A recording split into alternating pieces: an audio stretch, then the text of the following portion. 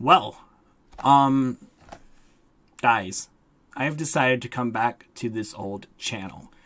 I really miss this channel. I have a lot of memories on this channel. And also, at the end of the day, I have a lot of perks on this channel and stuff that I have worked hard on. I've gained hard work on this channel and a lot more stuff. So I am moving back to this YouTube channel.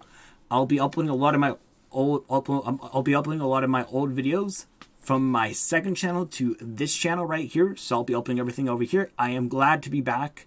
I really enjoy this channel. I don't think I think quitting this channel would be a bad idea because this channel is pretty still active. This channel is pretty active still in a way. I'm saying it and stuff. And also at the end of the day, um, I'm going to be rebranding this channel right here. I'm going to be changing my second channel to a different name.